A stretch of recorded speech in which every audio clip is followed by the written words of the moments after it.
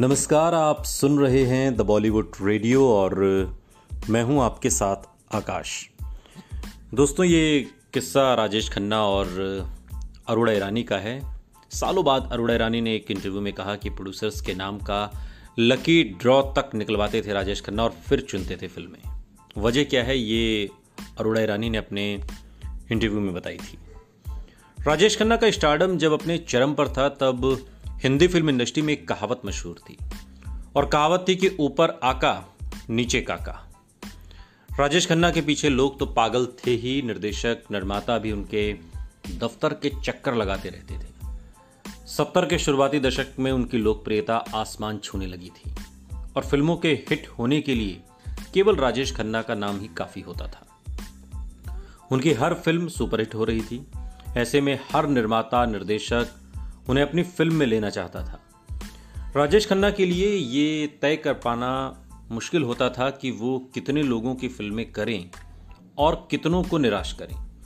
इसके लिए उन्होंने एक तरकीब निकाली थी, जिसके बारे में एक्ट्रेस अरोड़ा ईरानी ने बताया।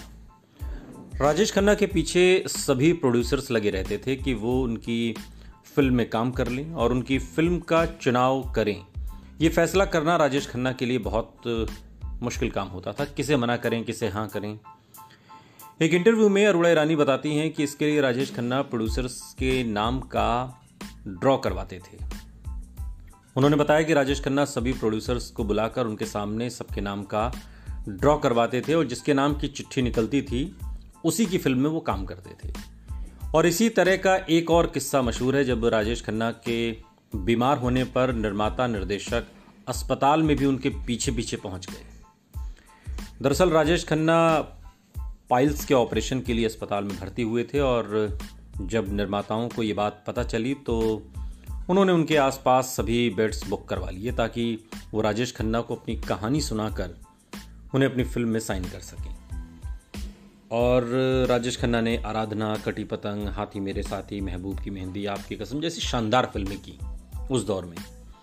लेकिन आनंद उनके करियर की सबसे अच्छी फ़िल्म मानी जाती है, आनंद के गाने आज भी लोगों के बीच उतनी ही रोमानियत लिए हुए हैं जैसी आज से पचास साल पहले थी।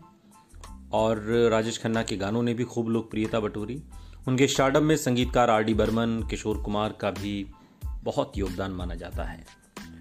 और राजेश खन्ना तो वो एक तरीके से अचार थे उन दिनों, जो जिस फ़िल्म में हो, उस फ़िल्म का स्वाद आना लाजमी है। सुनते रहिए। द बॉलीवुड रेडियो सुनता है सारा इंडिया।